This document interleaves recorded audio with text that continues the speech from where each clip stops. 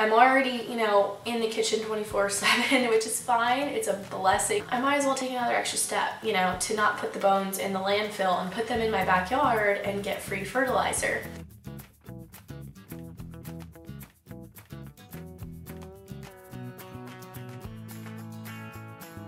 Hey y'all, welcome back to my channel. My name is Bowen. I'm a registered dietitian and homemaker.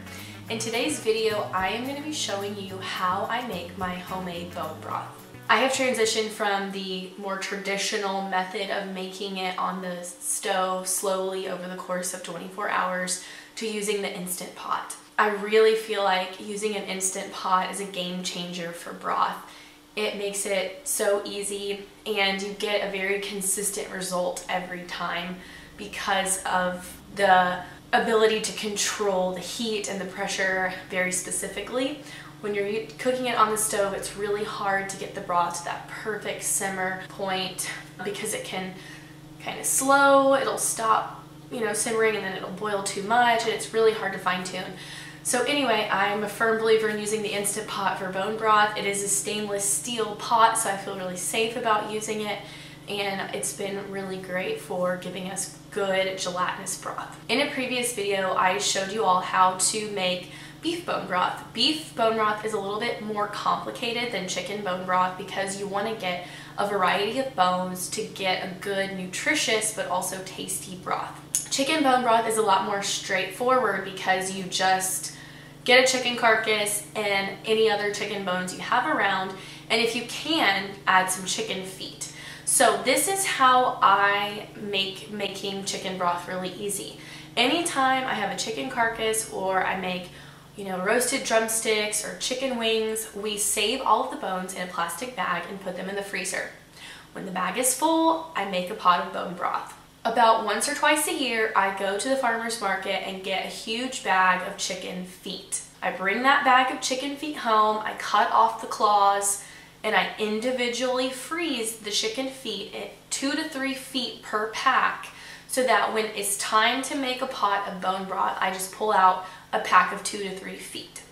I feel that it's not necessary to use more than two to three feet per pot of bone broth. I don't want to say that it's wasteful, but chicken feet are, there's only so many chicken feet, right? Out there running around. And they're so concentrated in collagen, you really don't need more than two to three to make a really good gelatinous pot of bone broth. And also, I will add, I have taken the entire bag of chicken feet and made a pot of stock with it. It's not very flavorful because chicken feet don't have any little bits of meat left on them or anything like that. And so it's kind of like the beef bone broth. You're adding in the carcass, which may have a little bit, you know, some tiny remainders of meat, or if you roasted it in the oven, you're adding some flavor into it. It will just taste better if you combine the feet with the carcass and other chicken bones that you have. Let's go ahead and get started with making chicken bone broth in the Instant Pot. So to get started with your bone broth, you're going to need one chicken carcass. This is actually a turkey carcass, but a chicken carcass is the same. It's just a little bit smaller. If you have any other bones that you've saved, like drumstick bones or wing bones, those work great too, and you can add them in as well. What I feel is a really important and great addition to chicken bone broth is chicken feet. Put it in frozen and it works just fine. After you get your bones in, you just want to add filtered water up to your fill line or a little bit under your fill line if you want to play it extra safe. After you get the water put in, you're just going to add a couple tablespoons of apple cider vinegar and you're going to allow the bones to soak with this water apple cider vinegar for 30 minutes before you start cooking. This helps the bones to start to release some of those minerals we want to get in our broth.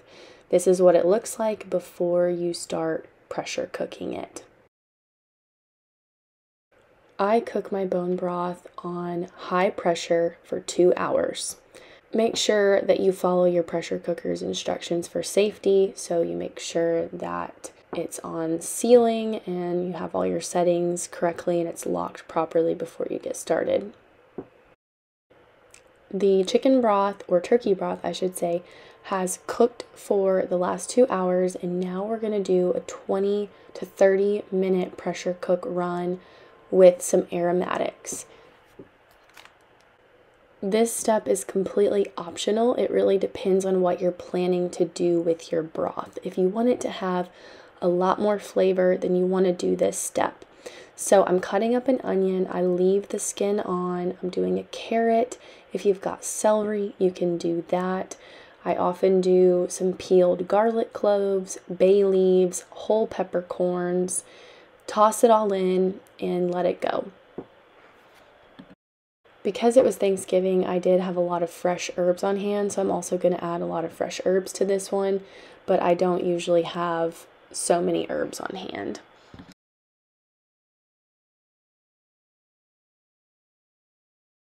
Once you get your aromatics put in, you're going to close it back up again, seal it, and I do high pressure for 15 to 30 minutes. Anywhere within that time frame has worked well.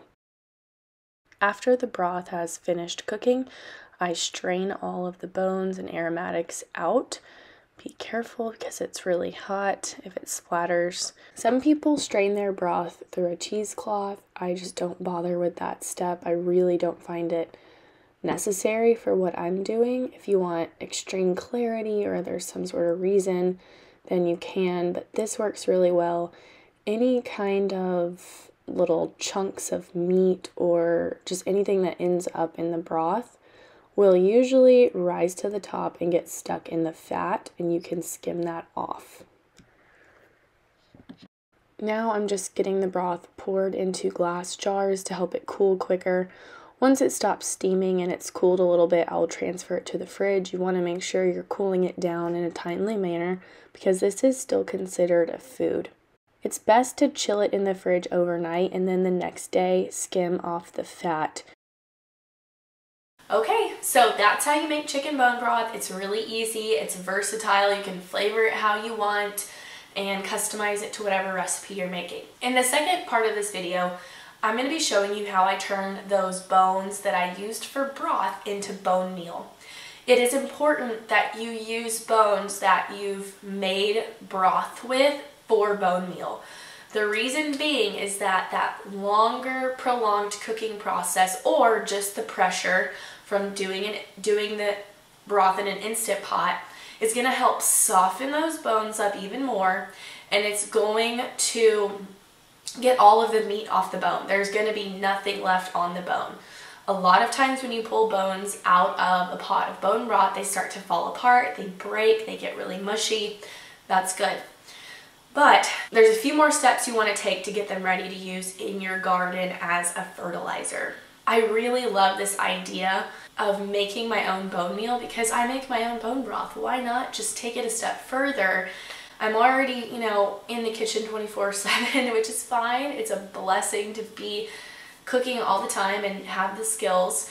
Um, I might as well take another extra step, you know, to not put the bones in the landfill and put them in my backyard and get free fertilizer.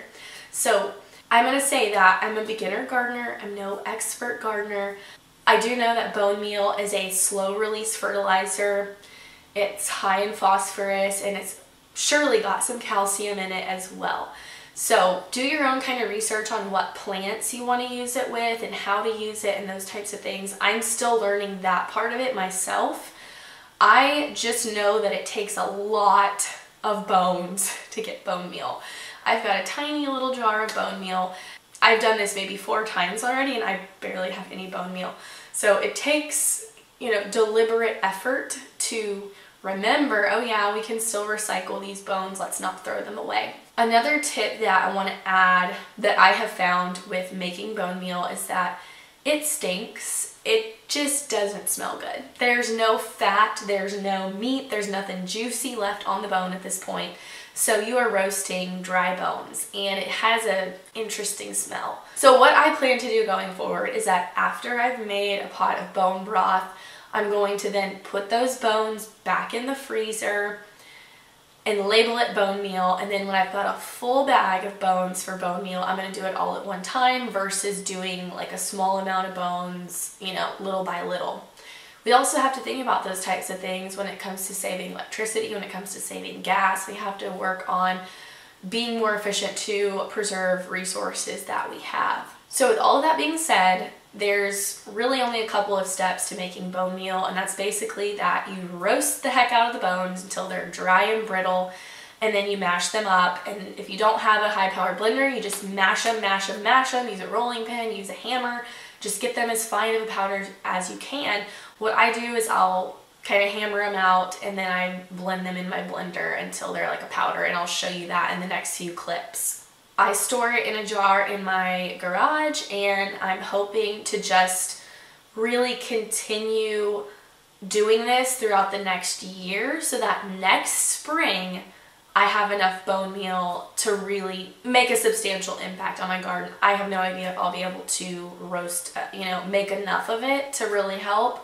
But I'm to see over the course of a year because I'm to be really diligent in about saving every bone that I possibly can. And I'm even thinking of ways, you know, what are some cheaper cuts of meat that I can start buying more frequently so that we can get bones at least once or twice a week in our house so that we can be preparing and making fertilizer for our garden for next spring. So all you do is go through what you've cooked and see what bones are salvageable in terms of you know there's not too much skin or meat still attached what can you separate that's strictly bone? Get all of that laid out on a cookie sheet and then bake it at 450 until the bones appear to be dry. It's hard to give an exact time because again your bones could be really small or big. I don't know what kind of bones you're using. It really depends on the size so i say you know check it every 10 15 minutes and go from there after the bones have been baked and they are dry and brittle you mash them up. So I start by just getting them kind of broken apart this way before transferring them to my blender and really processing them into a fine powder. Depending on what kind of tools you have, you may not have a high powered blender. You can probably just continue to beat the heck out of them until they all turn into powder.